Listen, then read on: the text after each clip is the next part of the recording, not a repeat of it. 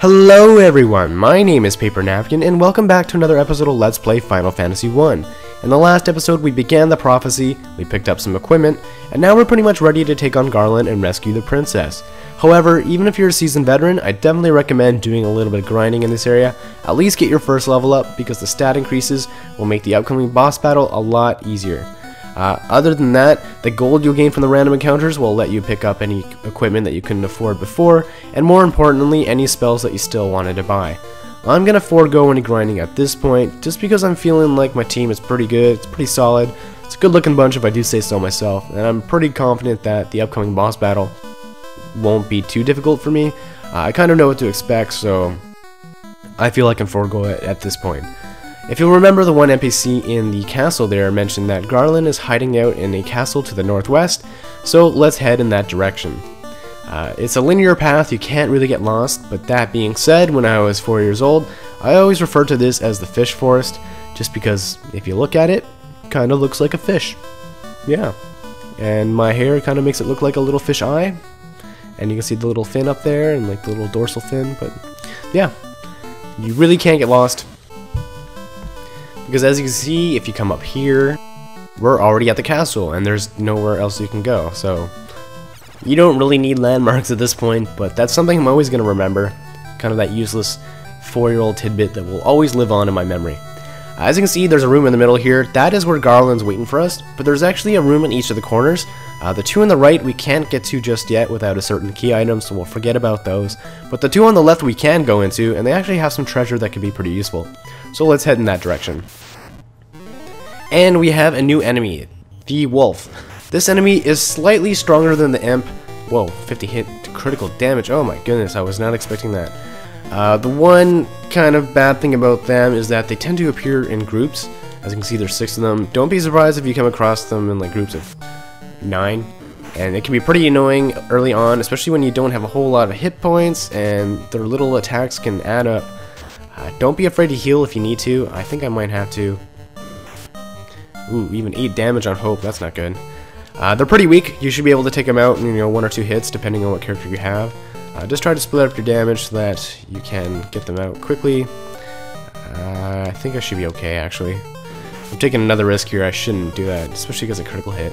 But I'm kind of counting on the fact that early on, a lot of your hits and a lot of the enemy hits will be missing, which I've kind of touched on briefly, but yeah, if you can take them out quicker than slower, then definitely a bonus which you know you can be said for any battle really. And okay, good, phew, survived that. So not too bad. One of the good things about fighting large groups of enemies is that you get a lot of experience points. As you can see, 36 points, and it's actually enough to gain us our first level. And at this point, I'm going to point out that each level, it'll show you your increase in hit points. It'll also show you the individual stats that you gain, but uh, in the game code, the levels are kind of scripted to either be a strong level or a weak level. And what I mean by this is that a strong level will give you a lot of hit points, you know, maybe 20 to 30 hit points depending on the character, whereas a weak level you'll only gain about 1 to 6 hit points, which is, you know, nothing really.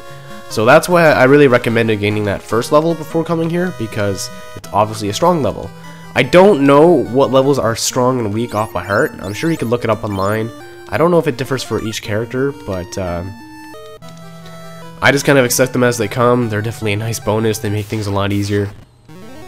And we have another new enemy. These are the spiders. They can kind of hit pretty hard, but they also take damage equally as well, or equally as bad. It's easy to do a lot of damage against them. That's what I'm trying to say. Uh, you don't have to worry about them poisoning you at this point. Their later counterparts can poison you with their physical attacks, but I mean, as you can see, these things are easy to hit, easy to do a lot of damage to, and you can take them out pretty quickly. And they give decent experience points too.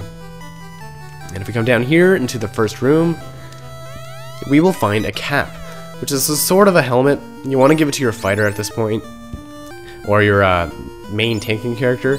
It only increases your absorb by one or so, but really, anything at this point is useful. Uh, it won't make that much of a difference later on, but for now, one absorb is pretty critical. If you come up over here, in this top room, there's actually two treasure chests, the first of which contains a heal potion, which is pretty useful, and this one contains a cabin, which we can use on the field and restore 60 hit points to all our characters, and more importantly, make a save point. These items are really useful if you're, you know, far away from a town and you realize everyone's gonna die and you don't want to lose any progress. Just pop one down and you can make a save point. If we come in here, Garland is waiting for us. I'm gonna heal up. Don't be afraid to use your spell charges at this point.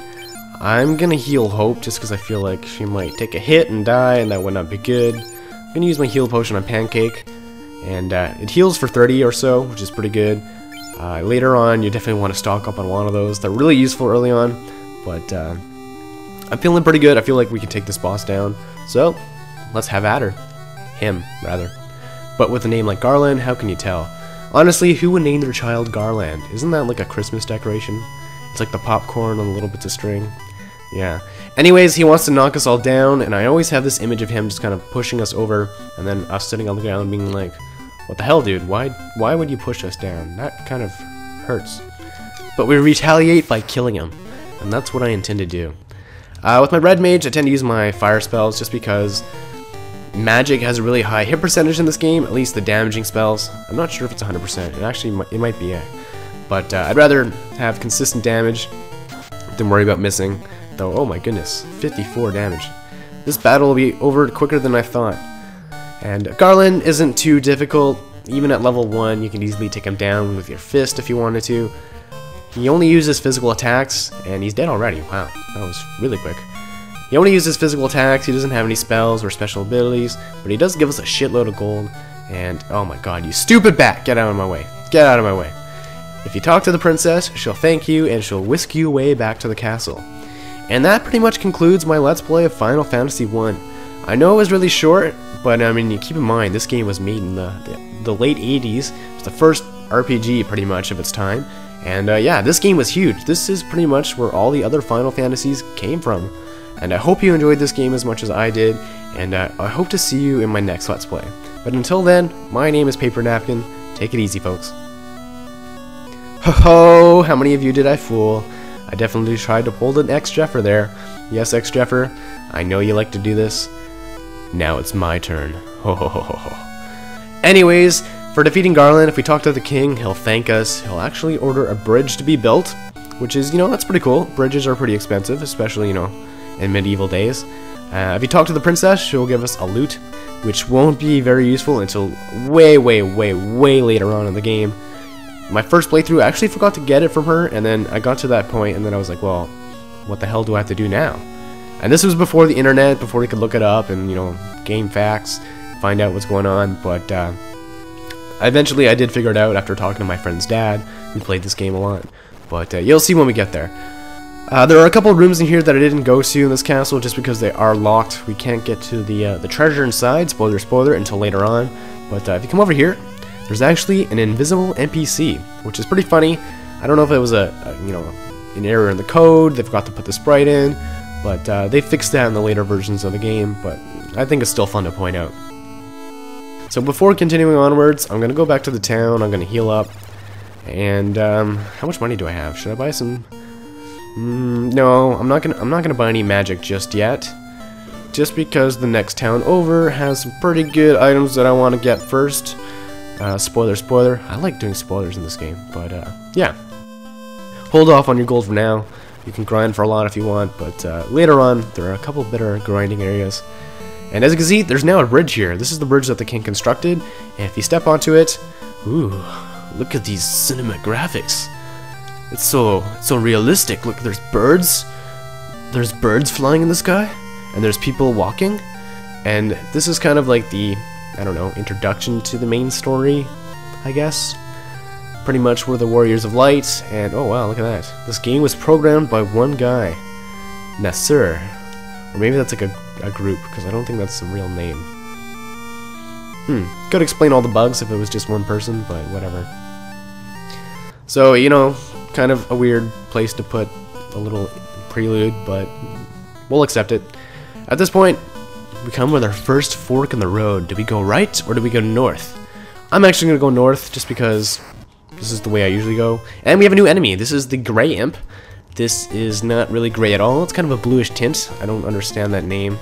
But uh, it is Gray Imp. I always thought it was Greater Imp, but it's not. If you look it up online in the bestiary, or if you actually bought the game itself, it came with like a giant um, map on one side, the bestiary on the second side. It actually says Grey Imp, so it is gray, even though it says it's blue in color, but I always come up over here just because there's forests, there's some lakes that we can't cross yet, but uh, there's a lot of new enemies up here, especially above these lakes, and these are a couple of them.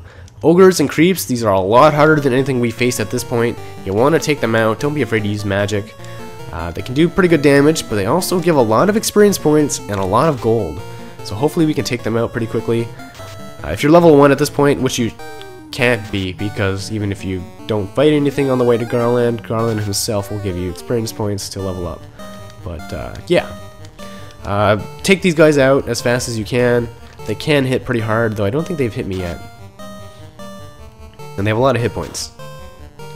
And I guess this is the first point where we actually have an enemy that takes up more than one little square.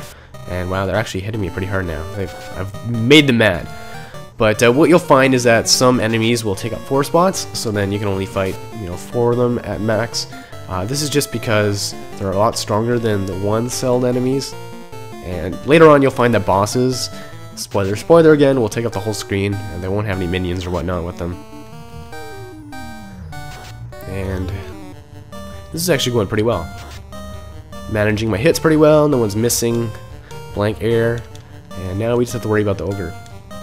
I tend to focus on taking out all the weaker enemies first just because their hits can add up over time rather than focusing on the big guy. Just because, especially in this game, with the limited amount of, you know, heal charges you can have, healing is definitely, it's very important to have, and it's so important that you kind of want to be sparingly using it. Uh, it's kind of weird. You'd think you would use it as much as you can, but really, that's not the case. And 4 damage. Seriously? That's not good. Could use fire, I guess. Hmm. And I keep missing now. This is not good. Just end it! Come on, paper, end it. Ah, and a miss. I think I will just bust out a fire spell. Put this guy out of his misery. And as you can see, since we're now level 2, we do have a spell charge for level 2 spells, but uh, we don't have anything. 11 damage! That's it! That's kind of stupid. There we go, 18 to finish him off. But let's take a look at that experience points. 96 and 240 gold. And wow, that's enough to gain us a level. And it's another strong level for the fighter at least, so we got 20 hit points there. And it's a weak level for Lexa, so I guess it does depend on the, the, the class there, because that's a strong level for Pancake as well, and I'm guessing a weak level for Hope. Yeah. So yeah, strong and weak levels do depend on the class, and if you look them up online, you probably could find them. This is a great area to level up, to get a lot of gold, especially if you want to stockpile at this point, because later on you will definitely need a lot of gold. If you come in this cave here, there is a broom that's kind of walking around. Kind of weird looking broom. But if you talk to it, it tells us to Celeste up a magic spell. Uh, I know you guys probably already realized this, but it actually says push B select. And if you do that on the field, I guess I'll show that first. Uh, yeah, I'll show it first. Might as well. What was it? Push B select? What's my B button? That's not it. Oops. Well, this is a good point to point this out. If you push select, you can choose the order of your party members. And there we go. If you push B select on the main map, it'll bring up a map for you to see. You can't really move it around, but you can kind of see those little flashing dots. That indicates either a dungeon or a town or somewhere that you have to go at some point. Pretty useful if you get lost if you don't have the handout from the game itself, but uh, I don't think I'll be using too often. Uh, if you come in here, you can actually walk on these. I always thought you couldn't, so, you know, when I was younger, I was like trying to maneuver my way over to the chest, and I couldn't get there, and then I stepped on it, and I was like, oh, that's kind of stupid. But anyways, if you come over here, pick up some chest, we find a pure potion, um, there's nothing there, we find a heal potion, and a heal potion. So not too bad, not too great. I guess those guys say the same thing. If you talk to her, she's looking for her crystal because she's blind without it. And her name is Matoya. This is Matoya's cave. Welcome to Matoya's cave, everyone. This is Matoya. She's very nice, but uh, she has a bit of an attitude sometimes. Uh, keep in mind of where her cave is. We will need to come back here later. Spoiler, spoiler. but uh, I felt the need to point it out, and I just really wanted those heal potions. But uh, I think this is a good place to end the episode. Uh, in the next one, we're going to go to the next town over, and hopefully we'll pick up some new equipment, some new spells. Maybe we'll find out what the heck is going on in terms of those orbs that we have in our inventory. But until then, my name is Paper Napkin. Take it easy, folks.